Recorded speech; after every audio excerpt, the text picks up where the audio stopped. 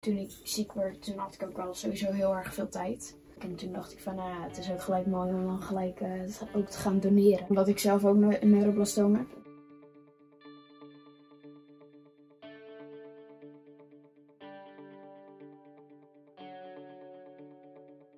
Uh, ik heb boven heb mijn werkkamer. Heb ook alle orders en zo liggen en de voorraad en dat soort dingen.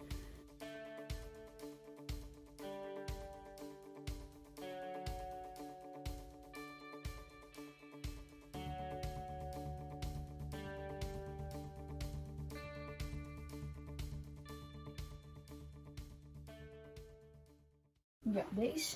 Dit is gewoon uh, de normale print met, met een normale logo achterop.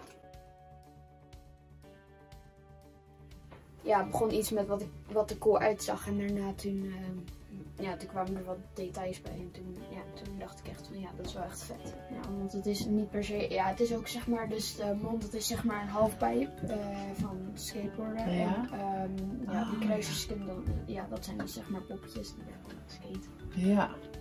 Nou, dit, dit, uh, ik heb uh, 10.000 euro opgehaald uh, voor Villa Joep afgelopen jaar. En ja, dat wil ik nu eigenlijk officieel even overhandigen. Nou, dus, wat leuk. Hierbij de 10.000 euro. Wat goed. Dat jullie er wat mee kunnen.